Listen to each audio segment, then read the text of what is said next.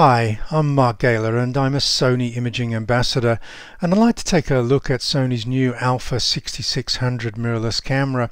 Now it's been nine years in the making and uh, Sony have been constantly refining the feature set and performance of this camera and this new Alpha 6600 comes at the top of the camera lineup in the APS-C cameras.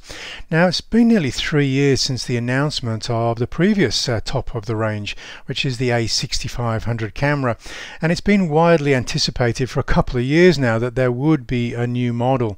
Now let's take a look at this camera in comparison to some of the other uh, cameras in their APS-C lineup and uh, this may be a camera that uh, brings you over uh, from either DSLRs or makes you want to upgrade your current mirrorless camera. It's a APS-C camera which is often referred to as a crop sensor camera.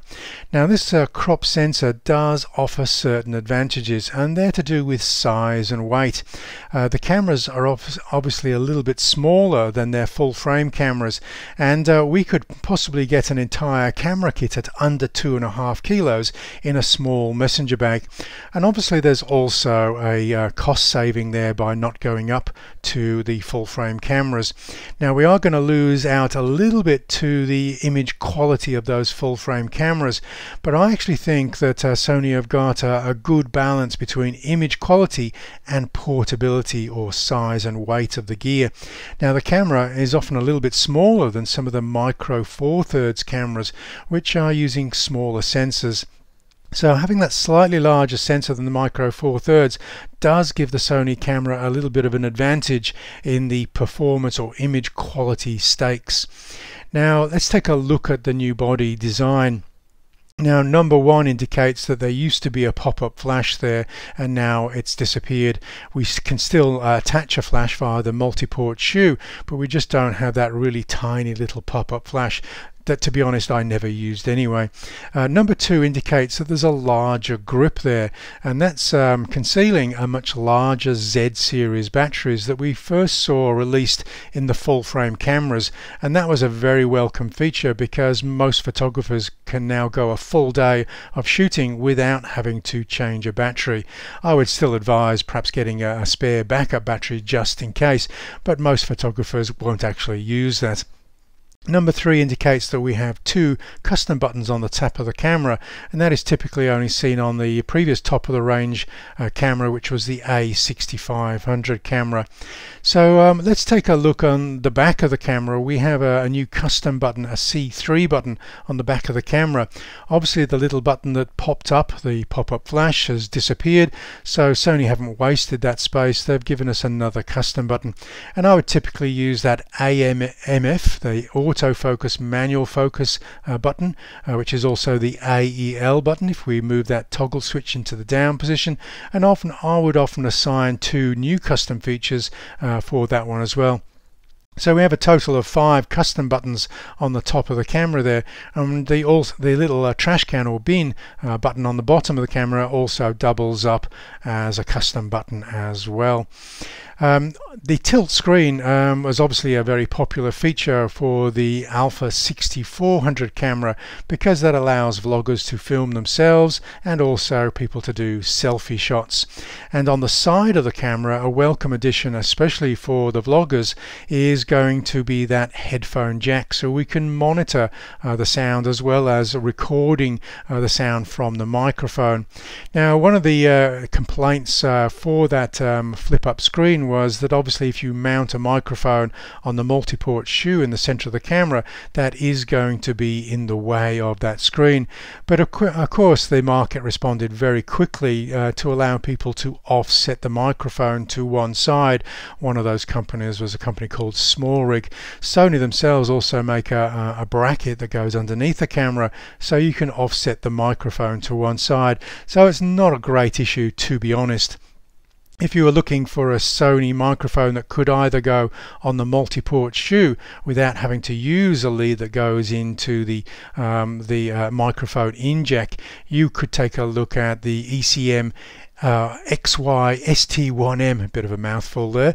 Um, but all, that uh, microphone also has the added advantage of having a mic out uh, that allows you to attach a lead to go into the microphone input on the side of the camera.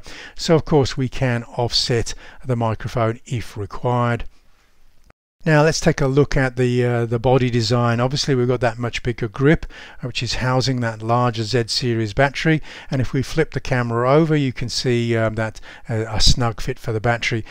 Uh, as you can see on the top of the camera that um, larger battery does lend itself to that larger grip so we can see that the uh, the body design has changed accordingly there and if we flip that over it's quite obvious which is the uh, the Alpha 6600 uh, we're comparing it to the Alpha 6500 in the in these images. And again just a side-by-side -side comparison. Nothing um, major but obviously that larger group and the Z series batteries are major steps forward I'm reminded of a song uh, called It's All About That Bass. Um, of course, for many users who uh, looked at uh, the great features of the Alpha 6400 but really didn't want to jump in because they wanted the in-body image stabilization or IBIS, then of course uh, they were hoping uh, this camera would appear. And of course, uh, this is the camera. It's got everything that the 6500 has, everything the 6400 has, and a little bit more. Now, so what I was quite keen uh, in getting my hands on this camera is really to push that side of it because I've already done an extensive review of the Alpha 6400 and of course that uh, this new camera has all of those uh, advantages and features. So of course uh, I uh, set my alarm clock for an hour before dawn uh, got out so when the ambient light is very low no tripod hand holding uh, on a range of different lenses. This is at a focal length of 54 millimeters. I think this was the uh, 18135, seven and a half times zoom. Nice sharp lens. Uh, it does have steady shots, but of course, uh, if I need to hand hold at these uh, low ambient conditions and keep the ISO low, then I'm going to have to drop that shutter speed quite significantly.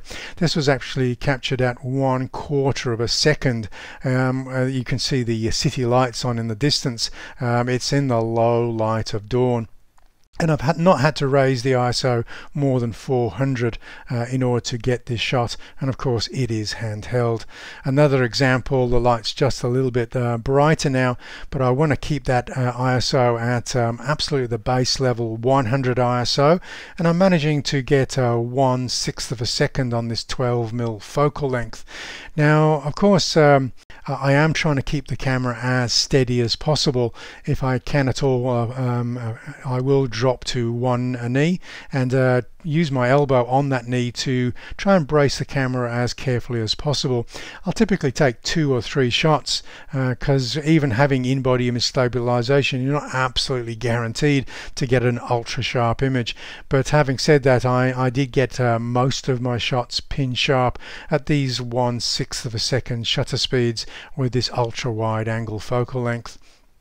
And now we're, we're using a much longer focal length, 113 millimeters here, and I'm managing to get sharp images at one eighth of a second.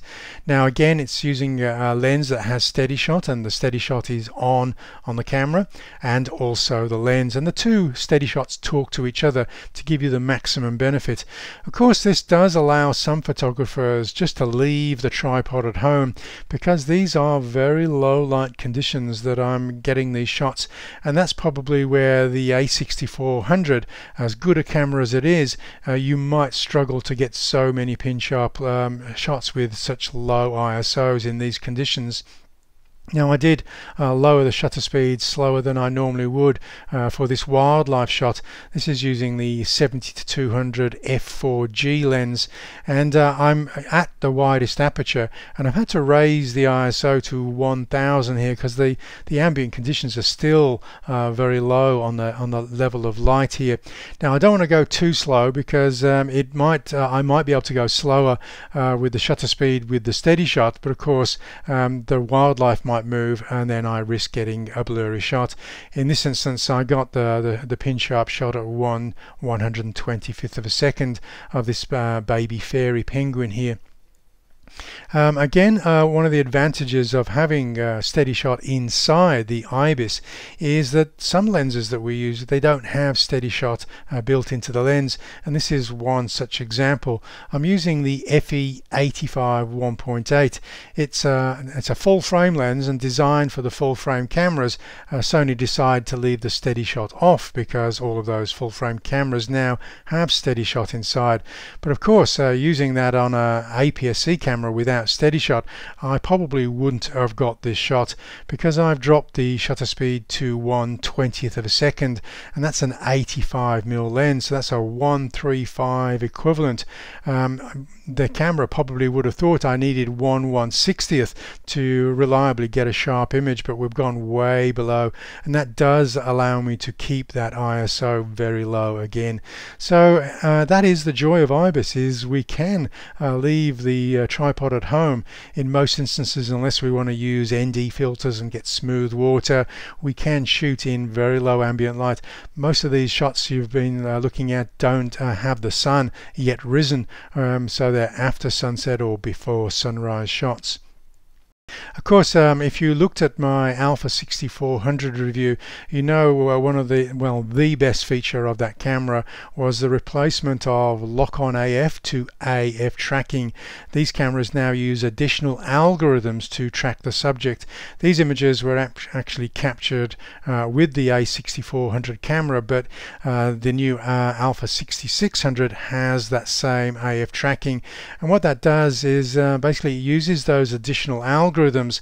So if the camera had been tracking using the real-time IF, if the eye momentarily uh, be, uh, became um, uh, uh, invisible, basically it was obscured, in this case by the hip-hop dancer's arm, it doesn't jump to the nearest subject matter, the arm, it's using distances and texture as two algorithms and so it stays at the same distance and pulls up a little bit of the texture that was adjacent to um, that eye. So a very reliable feature uh, I've shot thousands of portraits at demonstrations and parades with the Alpha 6400 and found that to be uh, uh, a really reliable AF tracking system. Um, here in this instance again shot with the 6400 but I have to say the 6600 um, shows every sign of being as reliable. Um, somebody walks in front of me at a parade the face and eye are concealed from view momentarily and the camera doesn't jump to the person walking in front of the camera. It stays with the subject and in this case the only part of the face that is visible is the ear. Um, amazing amazing tracking capabilities of these new alpha cameras. And so um, and the the great thing about this real-time tracking is it's also available in movie mode as well. So typically we used to have to use center lock-on uh, AF if we wanted to track thing in movies and uh, that was that was useful but it was very twitchy and could jump away from the subject uh, when it got confused. Uh, the real-time tracking, the AF tracking in the movie mode now is much more reliable and one of the features is um, if we have set up in movie mode to use continuous AF and the AF tracking. Now, uh, if we touch the screen with the, with the touch operation enabled, that stops the continuous autofocus and pulls focus on that spot that we touched. So we can pull focus from different uh, subjects in the screen. We can also uh, dive into the menu and change that to touch tracking. And that is a way of just touching the subject and then having the camera follow that subject around the screen.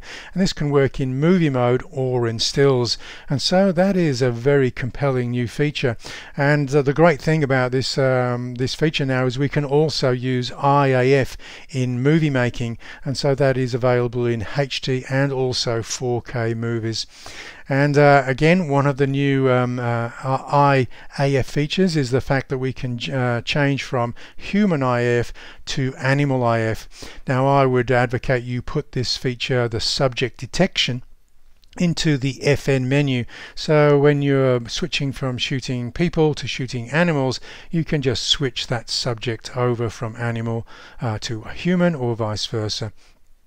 Now I did uh, test the camera, I only had the camera for a brief amount of time but I tested the focus tracking. And uh, uh, probably what I would do instead of using wide as the default now I would simply um, uh, program my memory preset for action to use AF tracking wide. And obviously we can come down to zone or spot if need be. And one of the great features about um, this uh, new Alpha 6600 is that um, dull grey focus area that we used to have to rely on is now a bright white focus area particularly useful if we're using the spot AF a lot of people used to complain that they couldn't find where the spot AF point was and that's no longer going to be a problem because Sony have decided uh, to make that bright white on this camera. And uh, if you are tracking subjects this was a sequence of shots that I captured of this dog running towards me with the Alpha 6600 I was using the FE 70 to 200 f4G lens to do this tracking uh, test. And uh, if the camera has found the subject then the tracking icon will um, uh, jump from uh, the number of little green squares into this AF tracking icon here and you can see that will faithfully track with the subject as you're panning the camera. Okay, if you've got a little bit more time to spare, I've covered the main advantages, but I'll go through in, in a little bit more detail if you've got the time to bear with me. And that is, um, let's look at the um, performance features above and beyond the Alpha 6400. A lot of people were very impressed with that camera, but just wanted to wait for the next one. Okay, and obviously that is rewarded by that Z series battery and bigger grip, the in-body image stabilization, the IAF in movies, both HD and 4K, the headphone jack on the uh, side of the camera so we can monitor the sound as we're recording, uh, the bright white focus frame, the buffer capacity is obviously larger than the 6400 camera which is very useful because it's not that UHS 2 which will clear the buffer uh, more quickly that we saw on the full frame cameras. We have an additional C3 button on the back of the camera um, one of the downsides, if you were using that pop-up flash, is that pop-up flash now has disappeared. Uh, we have one and two on the memories on the shoot mode dial instead of the MR. Uh, I actually didn't mind the MR on the uh, Alpha 6400 when we did have the advantage of three memories stored on the camera rather than two on the A, uh, Alpha 6600 camera. Pre-AF, it's a small point, but pre-AF uh, was strangely on uh, by default on the A6400, which is great for selfies and vlogging, not so good for people shooting fast action uh, because you don't really want the camera to lock on to something uh, before you've given it permission to lock on. So if you are doing selfies or vlogging, you might want to go into the menus and just switch that on uh, just for that um, uh, um, feature. For people updating from older APS-C cameras uh, such as the 6000, 6300 and Alpha 6500 cameras, we do have uh, uh, quite a few upgrade features here one includes that tiltable screen, um, so you can do selfies and the vlogging. We have AF tracking and touch tracking, real-time IAF, so we don't have to hold a custom key down now while accessing IAF in continuous autofocus. We have subject detection, which I've discussed between animals and humans. We have interval shoot function, um, so this uh, replaces the need to use a time-lapse uh, app because the app features are now gone on these recent model alpha cameras. So the uh, the interval timer allows us to shoot stills and then make the time-lapse movie in post-production or alternatively we could have the camera make the time-lapse movie by using the S and Q uh, feature on the shoot mode dial that stands for slow and quick. We can um, register different focus points, spot focus points, here, whether the camera is in vertical or horizontal modes. Very useful if you're shooting, uh, doing a portrait session and you're switching quickly between horizontal and vertical. We have a shutter auto white balance lock so that when we start shooting a sequence of images we can tell the camera not to vary the white balance during that sequence. Uh, we've got a self portrait timer so that when we press the shutter release we'll get a, a visible three um, countdown three two one gives many people time to pout or smile. Uh, we have a movie with shutter feature so we don't have to press the little red button on the side of the camera we can just have uh, use the shutter release button instead, uh, which is much more, uh, much easier to implement in my opinion it doesn't stop you there, or, but you know, wait, there's more. Uh, we have an additional uh, blue peaking color, uh, which is uh, might be useful for some people shooting movies, so we can see where the uh, sharp focus is. That is typically only seen in manual focus and DMF. Uh, we've got the 30 minute uh, movie limit has been removed. Uh, we saw that first appear on the Alpha 6400 camera and now the new Alpha 6600 is no longer restricted into 30 minute movies. Uh, this camera can also access the new Sony's new Bluetooth remote. Uh, this remote doesn't rely on infrared signals or a wire. We can actually just use the Bluetooth. We will need to pair that with the camera first, uh, but that uh, is by far and away the best remote to use with this camera. We have um, the ability uh, when reviewing the images it will just jump straight uh, to the focus point when we're reviewing a magnified view we quickly know where the camera did uh, focus because it will jump straight to that point we have the slow and quick on the shoot mode dial this allows us to shoot at movies in one frame per second uh, or um, 100 120 frames per second for shooting slow motion movies. We have the My menu and My dial settings. Obviously on this APS-C camera. We don't have a front dial, we only have a rear dial, but you can set up a custom key and we've got lots of them just to switch the functionality of that rear wheel. Uh, for instance, one of the things that I do is I'll just press the uh, a custom key once and then the, um, the rear wheel, which might be set up to change apertures, suddenly now becomes an exposure compensation dial. So I don't feel the loss of that front dial personally. Uh, we have a new aspect ratio which is a 1 1 if you're a raw shooter it won't uh, crop the raw file. It just uh, masks the raw file to help us frame the image up in in uh, in camera if you're shooting in JPEGs obviously we will create a square JPEG image um, we have the ability to limit the focus areas as well so we don't have to cycle through the the numerous focus areas to get to the one that we want we if there's six or eight focus areas we typically typically don't use, we can just hide them from view.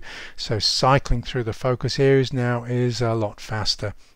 So that's uh, my preview of the new Alpha 6600 camera. Uh, certainly, um, maybe it was the camera you were waiting for. Maybe you're going to hold out for the next one. Uh, but this is quite a, um, a leap forward uh, for people who were waiting, and certainly um, this will be the camera for many users to jump on board with.